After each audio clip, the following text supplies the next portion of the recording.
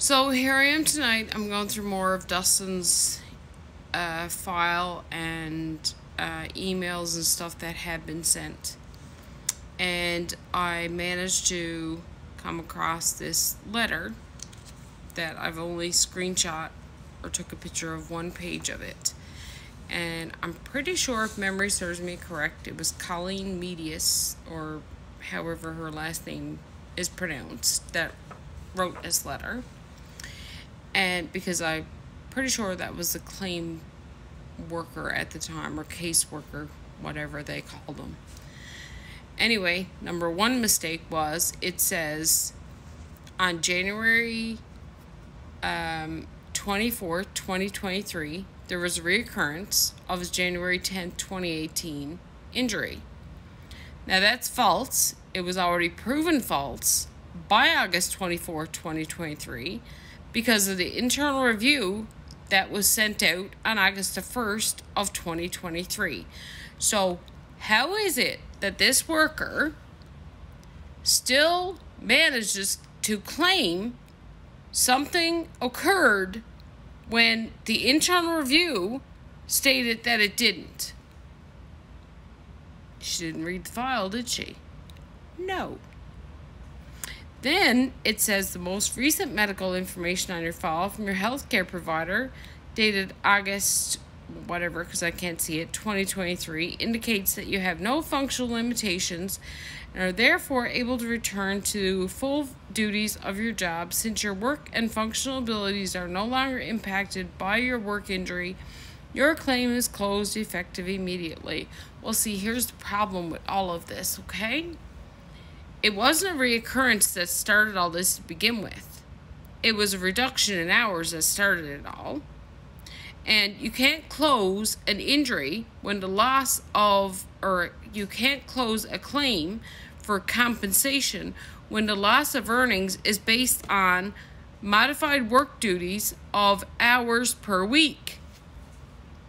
He had full functionabilities the whole time, even on the date the decision was made to reduce his hours. He had full function abilities. So, how is it that she claims that they can close that claim that she received because of modified work duties from September 27th, but she only received it after the Form 6 was put in on January 24th because he was forced to sign it.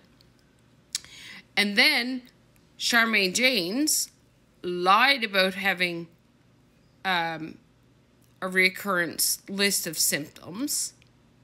And that was proven through the August the 1st internal review of 2023. And then he had an actual reoccurrence that stopped him from working his modified work due like working hours. And they closed his claim based on the fact that he was able to go back to work at full functional abilities after his May the 10th reoccurrence.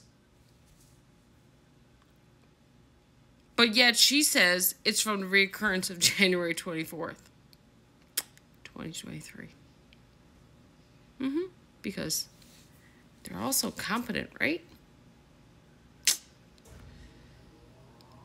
and yet they're getting paid and he's not.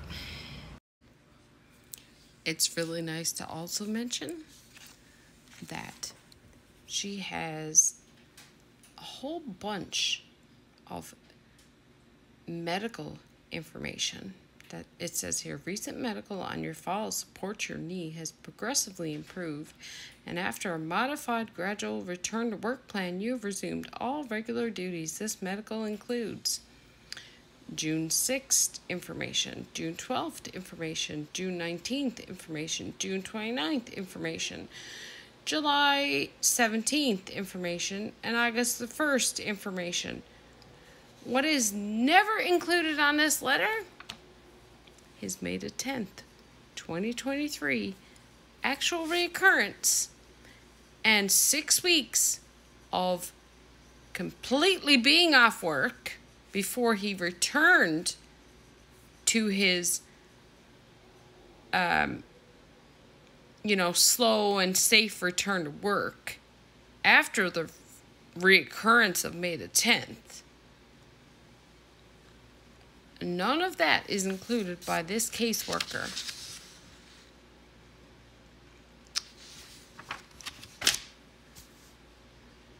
honest God, if I was producing that type of work, I'd fire myself.